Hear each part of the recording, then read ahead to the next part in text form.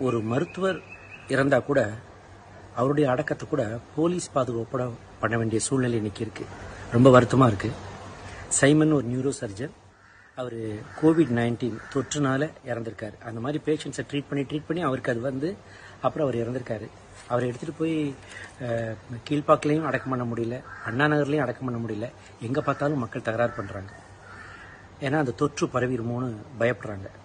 சில விங் சில மருத்துவ உண்மைகள் அவங்களுக்கு புரியலைன்னு நினைக்கிறேன்.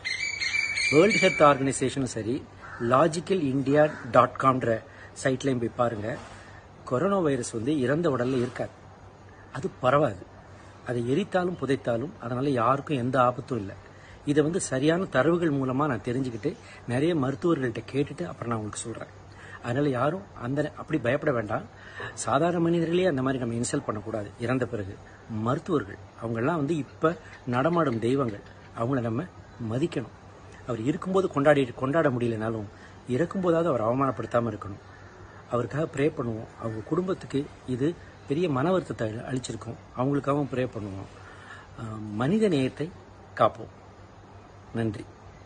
இந்த வீடியோ உங்களுக்கு பிடிச்சிருந்தா ப்ளீஸ் லைக் அண்ட் ஷேர் பண்ணுங்க. மறக்காம எங்க சேனலை சப்ஸ்கிரைபும் பண்ணுங்க.